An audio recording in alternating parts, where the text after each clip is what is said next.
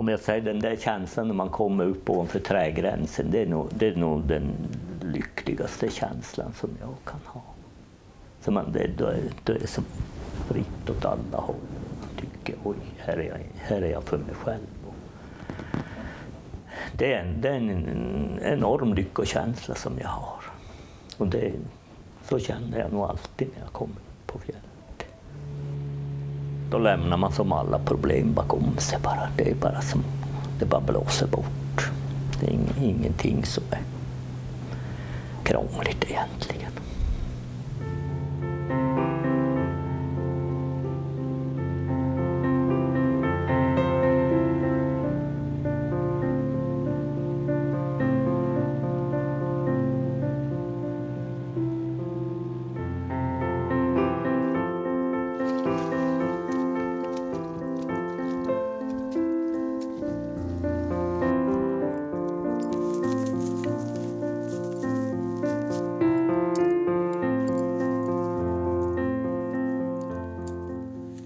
Skogsfågeljakten tycker jag ju verkligen är, den är verkligen kul att hålla på med med skällande hund. Det är väldigt, väldigt trevlig jakt. Det är spännande att se, klarar jag att smyga på den där fågeln och hur, hur går det, kommer jag i skott för den? Och, och, det är nästan lika spännande när den flyger iväg också. Jaha, nu klarar den sig men kanske nästa gång så får jag den. Och så där det är inte alltid så himla viktigt att man ska få så mycket.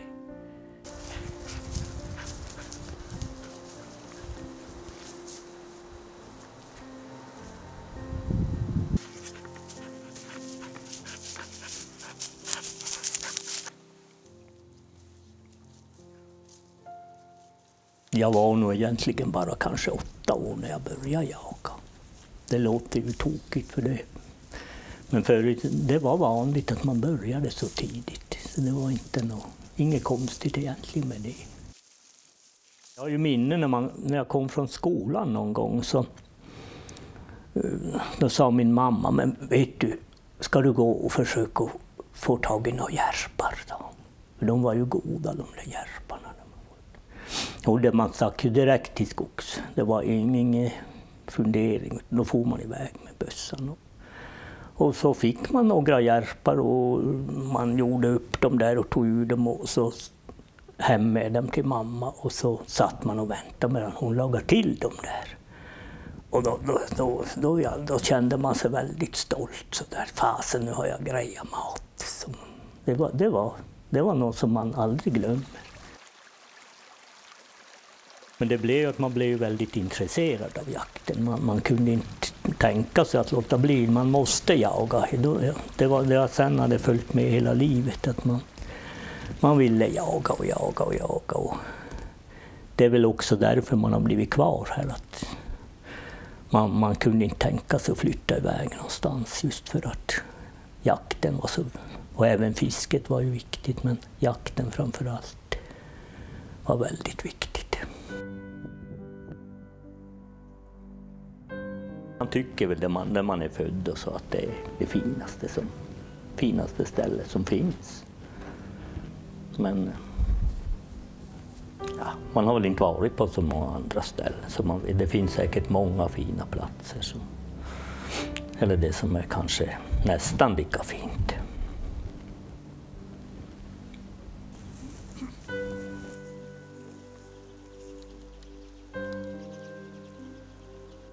Jag har ju haft turen att ha ett jobb som jag har fått vara ute mycket med, som jobba ja, som naturbevakare.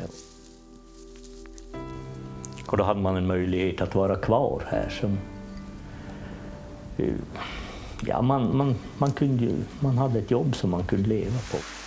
Det kan man väl säga är en himla tur att få ett sånt jobb. Det, det var för mig det högsta vinsten, absolut. Det, det var det.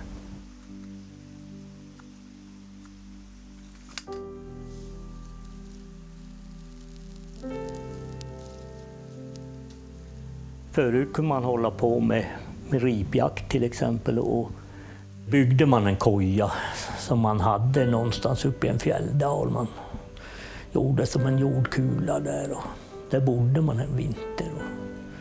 Och, så skidrade man åt olika håll ifrån den. Det var i regel man byggde den mitt inne i jaktlandet. Så det var bara en koja och man eldade, hade en öppen eld där inne. Och, och det gick fint att leva så. Det gick väldigt bra. Och man, man hade elden som kompis också. Den, den sprakade och den lyste upp alltihopa. Det var, det var fint. Så låg man och kikade in i glöden där på, på kvällen och på natten och fantiserade lite grann. Hur det, skulle, hur det skulle bli nästa dag, vad det skulle bli för spännande grejer.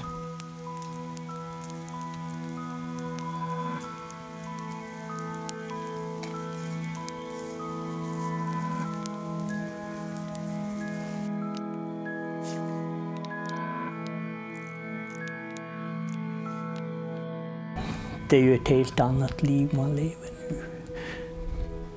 Nu fordras det ju helt annat. Det är som, man har så mycket grejer, man har så, det är så mycket som man, man, det går inte att finansiera det på något vis med, med det man... Med, med någon jakt, det finns inte en chans. Utan det, där har det blivit annorlunda. Verkligen helt annorlunda.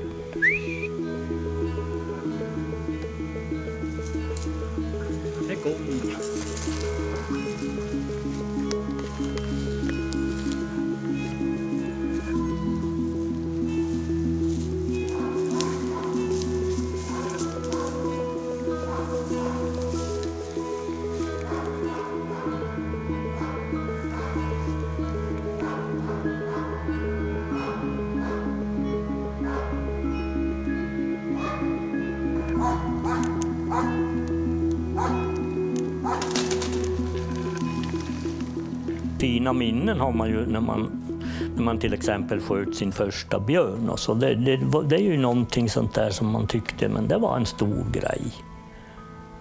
Så jag var och spårade en björn. Och ganska många dagar, men jag skrämde den någon gång och jag kom aldrig, jag fick aldrig se den. Och till slut så en morgon jag for iväg och kom till ett ställe där det var några renar som hade, och då hade, då hade björnen kommit där och så hade den, hade den tagit en ren. Så den, det var lite kalt uppe på den här tagen, sen hade den burit ner den i skogen. Och sen hade den grävt mossa över den så där och lagt sig ovanpå det där. Och då kom jag i håll, jag kom på en 20 meter ungefär, då hoppade den upp och kom som mot mig jag vet, jag vet inte vad den hade tänkt men i alla fall så då sköt jag och, och sen så då var det över. Det var inte något speciellt, den bara sprang en liten bit och så då ramlade den omkull där. Så det var inte något dramatiskt på något vis. Utan det, var, det var en sån där grej som man, då var jag bara 15 år så att man, man tyckte väl att men jäklar vad kul att man fick chansen att få en björn när man var så där. Eller när man, i början när man har börjat jaga.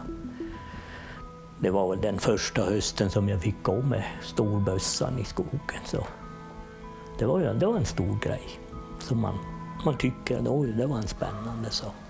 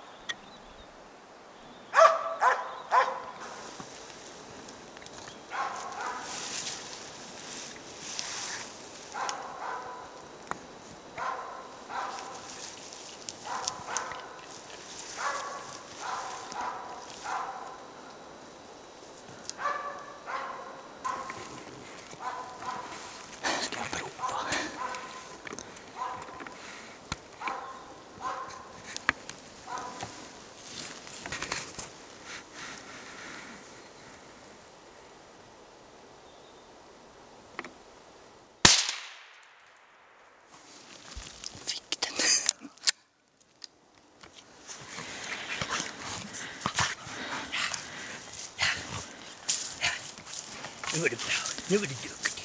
Nu var, du riktigt duktig. Jo, ja. Det var gammeltuppen. Ja, det var gammeltuppen.